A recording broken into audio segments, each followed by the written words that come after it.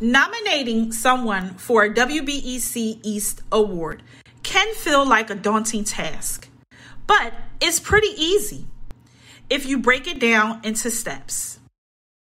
Read. Read through the award descriptions. Decide. Decide who you would like to nominate for which award. Look. Make sure to pay close attention to the criteria on the nomination form.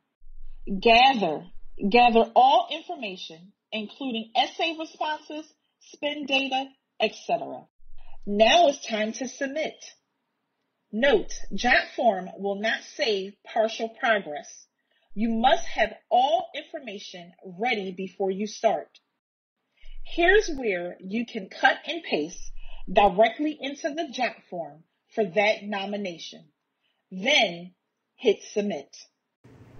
See, that was easy. Only five steps to the nomination process. So now all you have to do is get started and go give the gift of praise.